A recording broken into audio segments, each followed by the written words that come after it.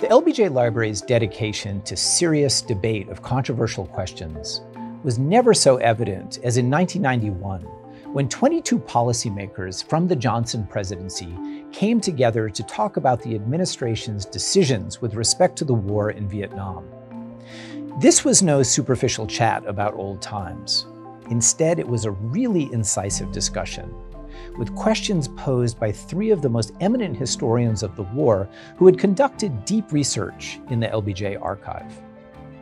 The gathering included no less than former National Security Advisor Walt Rostow, CIA Director Richard Helms, and General William Westmoreland, who had commanded U.S. forces in Vietnam in the years when LBJ had dramatically escalated the American commitment to the war.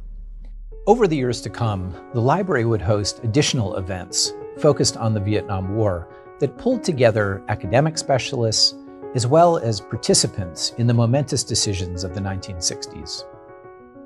In 2016, in fact, the library built on the foundation laid down in 1991 by hosting a Vietnam War Summit.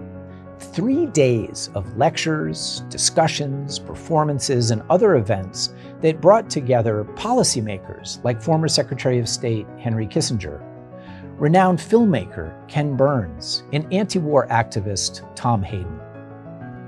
Perhaps most impressive of all the event drew hundreds of Vietnam veterans, many of whom took part in veterans recognition ceremonies and took time to visit the half scale replica of the Vietnam Veterans Memorial that graces the National Mall in Washington, D.C.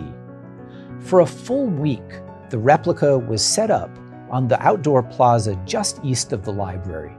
Here's a look back at that memorable time.